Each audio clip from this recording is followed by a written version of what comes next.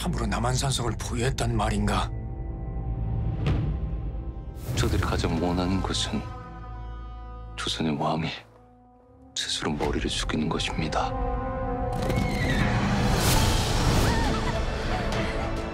내 이놈들을 잡아야겠다. 내 이 달빛에 대고 맹세하지. 이번엔 그대가 어디에 있든 내 반드시 그댈 만나러 가리다.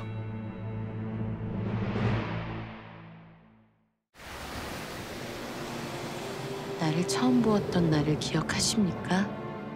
느껴지시오? 왜 낭자만 보면 이놈의 심장이 이리도 요란해지는지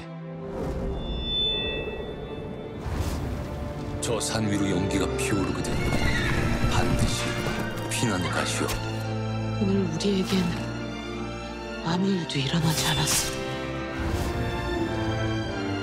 지금 어디 계십니까?